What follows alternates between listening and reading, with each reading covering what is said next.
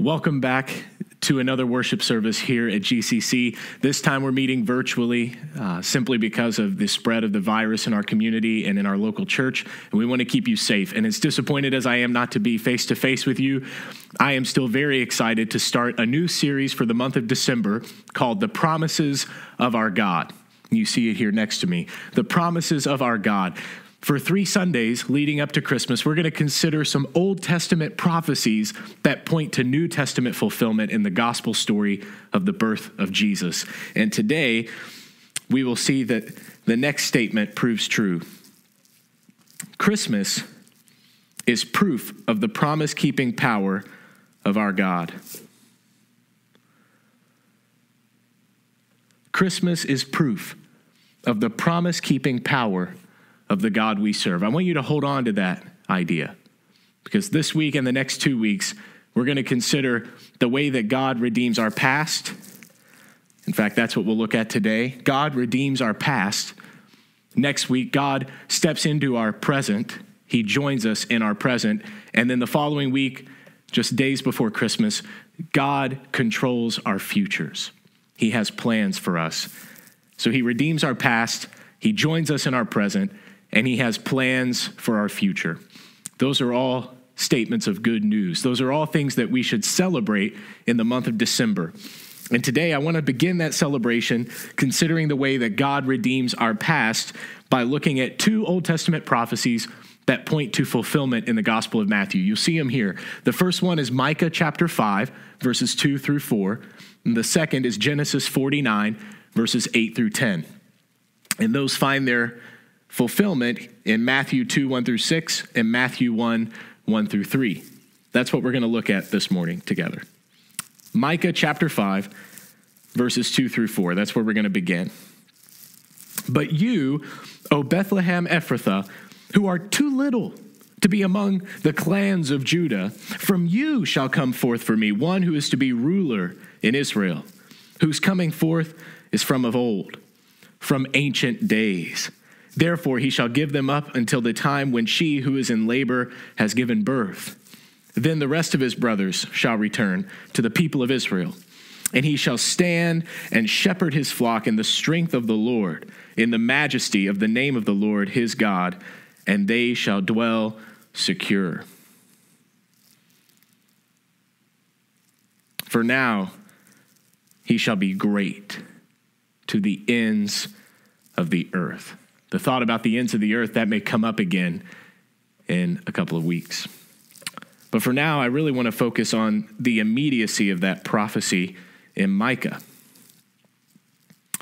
Sennacherib, the king of Assyria, invaded the promised land in 701 BC. This was a prophecy related to that event. It had immediate connections to what was happening in the prophet Micah's experience and the experiences of the people. It had political overtones. It was a reference to real struggles for justice and mercy. And yet, it was prophetically speaking of something to come even later in the future, something far off, like most other prophecies under the old covenant. They pointed to something that would arrive with the new covenant, something better, something that applies in this case to the birthplace of Jesus, where the shepherd of God's flock and the leader of God's people to the ends of the earth, where he would arise. It would be Bethlehem Ephrathah, the city of Judah. And that's what we find in the Gospel of Matthew, chapter 2, verses 1 through 6.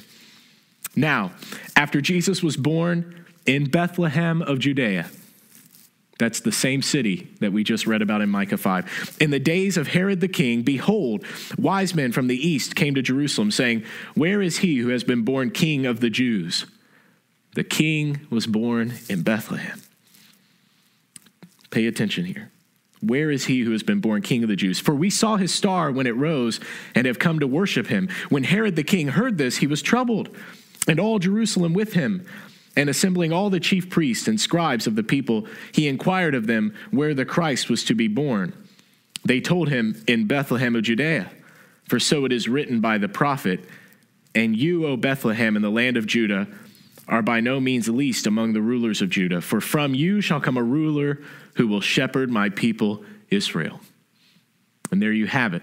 Micah 5 quoted in Matthew chapter 2, a fulfillment proof that God redeems our past. But how do we know that? And what do we find in this story that builds the connection? It was God, to begin with, who ensured that this prophecy would come true. Mary and Joseph only ended up in Bethlehem because of a census taken by Caesar in Rome, something completely outside of their control. It's amazing to think that God's plan came together through his working behind the scenes. Consider your own life, how many times God is working behind the scenes in ways you'll never see, things you'll never really know, you may never know about. But God was working. I can tell you this He is working in your life. Even if you don't see Him, He's working. Even when it's behind the scenes, He's working to redeem your past. That's good news. I don't know what's going on in your life right now. I don't even get to physically see you today. But I know that God is with you. He knows what's going on in your life. He knows your burdens, your struggles, the things that you're facing, and He's working in the background. He's putting pieces together behind the scenes. He's planning something for your good. And He always keeps His promises. It's interesting to note Bethlehem was not the place we think of today, the birthplace of Jesus. At that point in time, the Bible says that they couldn't send a thousand soldiers to fight in battle. They couldn't even send a thousand soldiers. It was a tiny village, maybe just a few hundred people, nothing to brag about. So, why Bethlehem? Why did God choose that place? A village in the land of Judea, a place that was small and seemingly useless and fruitless. And that's where this prophecy connects with real people, and you may already know some of these connections. Three people that we need to quickly consider connected to Bethlehem are King David, his ancestor Judah, and the woman he impregnates named Tamar. That's what we're going to spend our time looking at. They all appear in the genealogy of Jesus our Lord. Beginning with King David. So we know Bethlehem as the city of David. Before you realize that it's a city of Judah, the tribe of Judah, I'm sure you know Bethlehem was the city of David. It's quoted in the Gospels. We talk about it at Christmas time. This was where David was born, the great king of Israel. What do you know about King David, though? What do we really know about him? He's the youngest son of Jesse. He's an overlooked shepherd boy. So he's young, he's overlooked. He unexpectedly defeats Goliath. We know that story with a sling and smooth stones. This powerful enemy is overwhelmed through the strength of God at work in David. A great story. And that only leads to future victories. He proves to be a powerful military leader, an effective diplomat, and a poet laureate, bar none. He writes most of the Psalms. He sings and plays the lyre. He's a musician, an artist, on top of being a military leader and a great diplomat. He proves to be an awesome and well rounded king with a beautiful track record on paper. We know all those things about King David, but no one would have expected those things from David, the youngest son of Jesse, the overlooked shepherd boy. But that's what God does. Already in the genealogy of Jesus, we see the beauty of God's plan unfolding, how he can redeem the past and change it forever. He displays his power in unexpected ways through unexpected people, people like me and you. Maybe Maybe you feel overlooked. Maybe you feel misunderstood. Maybe you don't know where you fit in or what you have to offer. God has plans for you, He has gifts that He's placed in your life for you to use to do great things for His kingdom. In fact, the less likely you think you are to be used by God, it's probably the more likely you really are going to be used by God. David didn't expect much and he became the greatest king in Israel's history, apart from Jesus. What an awesome story. If the Bible teaches us one thing again and again and again, it's that you cannot underestimate God. Do not underestimate God. He always does more than we could ask or imagine. But even before King David and this story we know a little more with a little more familiarity. There was another story of his ancestor, a man named Judah. Bethlehem was once called the city of Judah, long before David. And here's the connection to our other scripture this morning Genesis chapter 49, beginning in verse 8. We'll just read a few verses. This is a prophecy that Jacob offers to his son, Judah. Judah, your brothers shall praise you. Your hand shall be on the neck of your enemies. Your father's sons shall bow down before you. Judah is a lion's cub. From the prey, my son, you have gone up. He stooped down, he crouched as a lion and as a lioness. Who dares rouse him? The scepter shall not depart from Judah, nor the ruler's staff from between his feet, until tribute comes to him, and to him shall be the obedience of the peoples. That's something every son wants to hear his father say on his deathbed. It's a powerful prophecy about the future of Judah and his kingdom. When we hear that Judah will hold the scepter forever, we may have imagined a different story than what we actually find unfolding in the book of Genesis. Judah doesn't seem to be the one who should hold the scepter between his feet forever as he rules over God's people. Let me remind you of the events we find in Genesis chapter 38 because the genealogy of Jesus in Matthew 2 connects right back to another familiar story. Or for you, it may not be all that familiar, but it's about to be. Judah, who is with a woman named Tamar. Judah and Tamar. I'm going to call her Tamar because that's what everybody around here would call her. Judah and Tamar have an interesting interchange one that's really not rated PG 13. It's an adults only kind of story in the Bible. It involves prostitution. And that's because Tamar is married to Judah's oldest son, Ur. Ur fails to obey God and he's punished by death. And so, by levirate law, his next oldest brother would take his widow and impregnate her and give her a child so that she can carry on the older brother's name and have someone to take care of her. It was ancient Near East custom, especially for the Jewish people. And so Er's next oldest brother, Onan, is supposed to impregnate this widow, Tamar. And so Tamar goes to Onan, and Onan, the Bible says, spills his seed in the dirt. He refuses to get this woman pregnant. He won't give her a child for whatever reasons he might have. He refuses to obey God's command. He leaves this widow childless and without help. It's really a, a heartbreaking story. And so God takes his life as well. And now there's only one brother left Judah's youngest son, Shelah. And Shelah is still a kid. And so Judah says, Tamar, just wait until Shelah grows up, and then I'll give him to you in marriage, and he can give you a child, and you'll carry on my oldest son's legacy.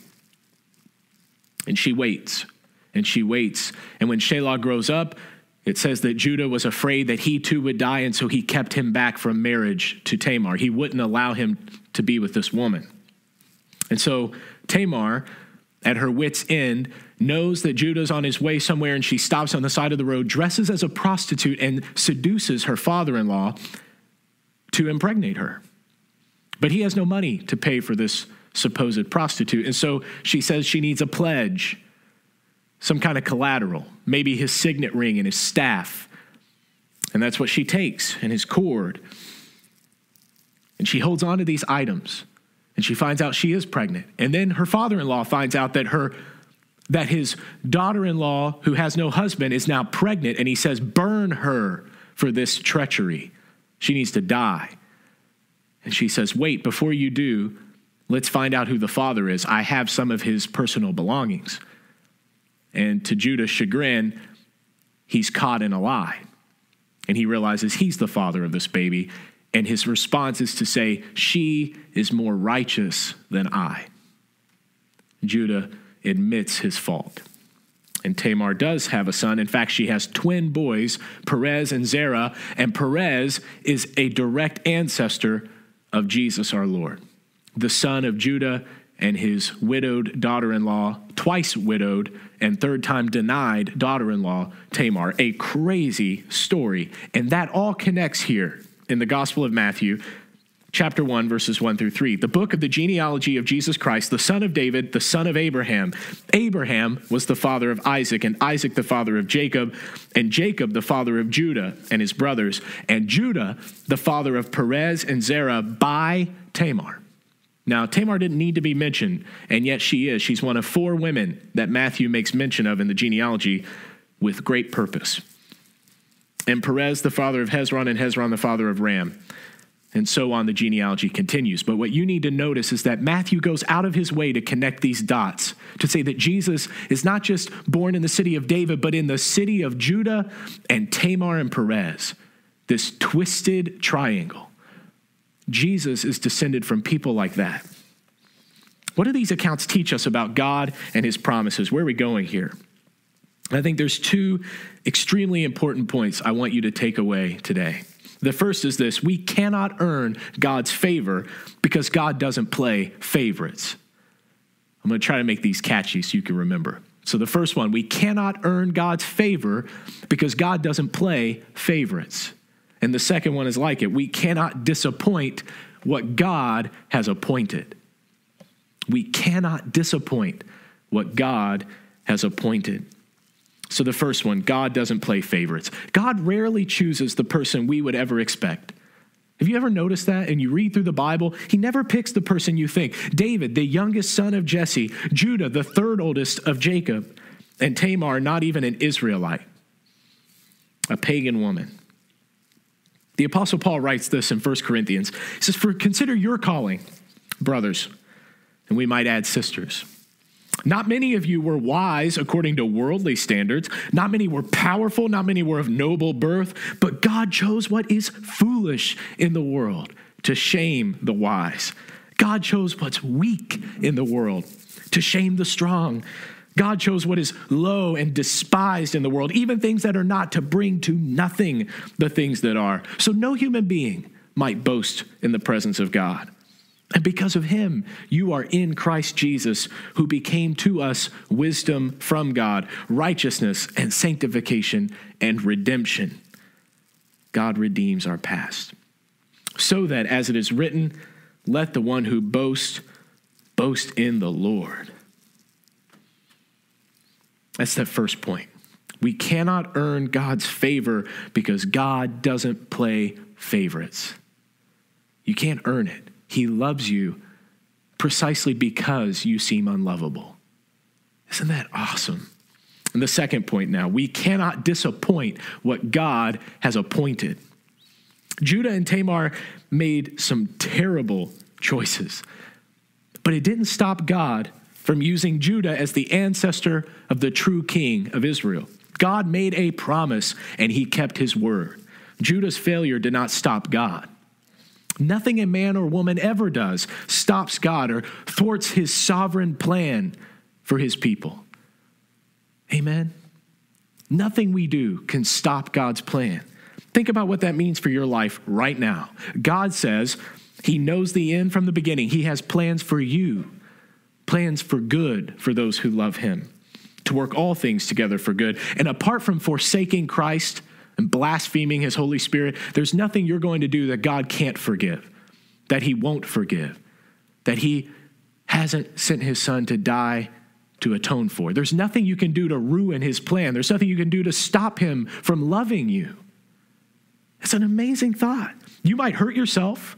Sin has consequences.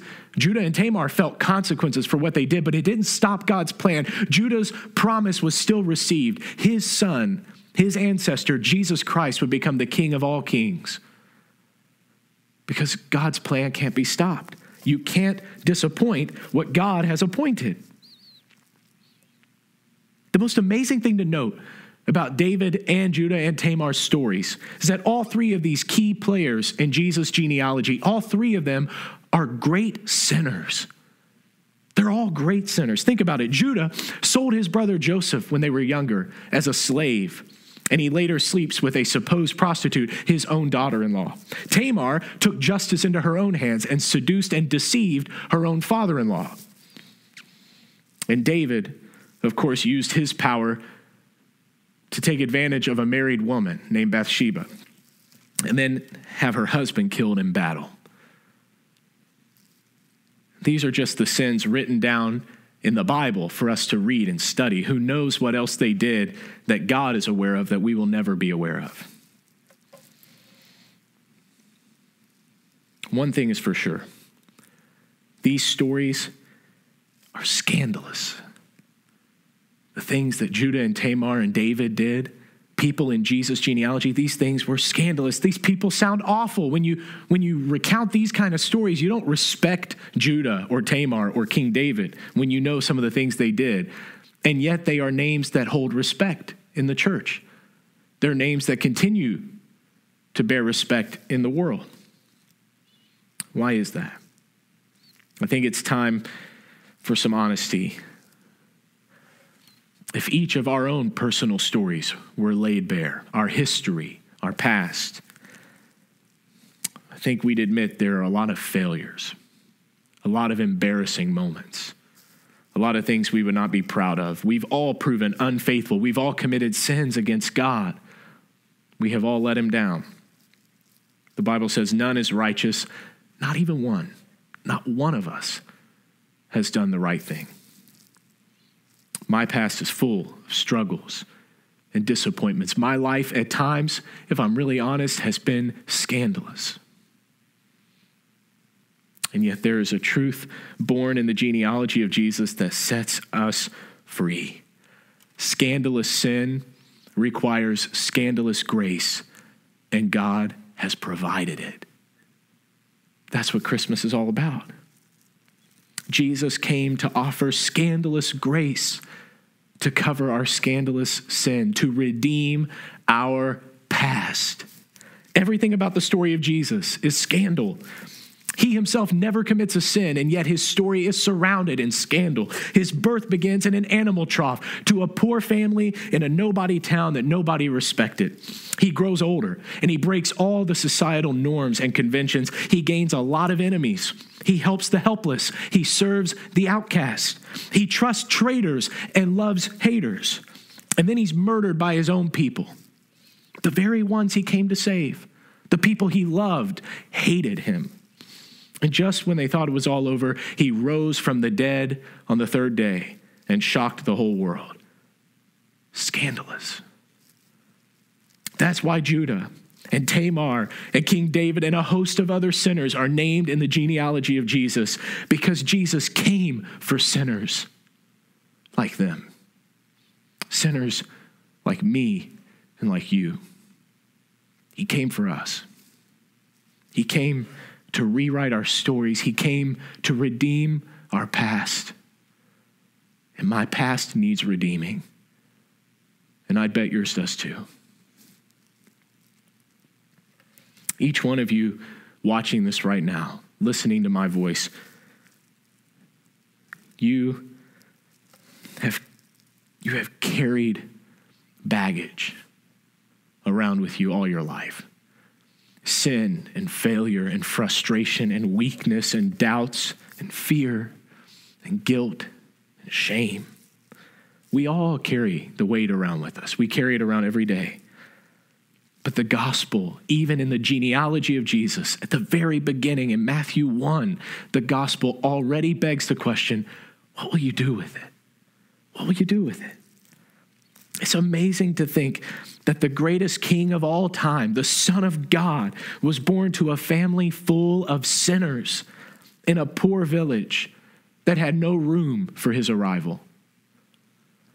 If Jesus could be born in a messed up family, in a crazy situation like that, I know he can come and be with me in my messed up life with my craziness. And he says he'll be with you too. He has come to redeem your past.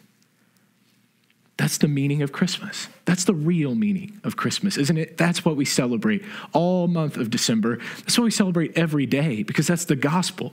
Scandalous grace for scandalous sinners like us. Have you received it?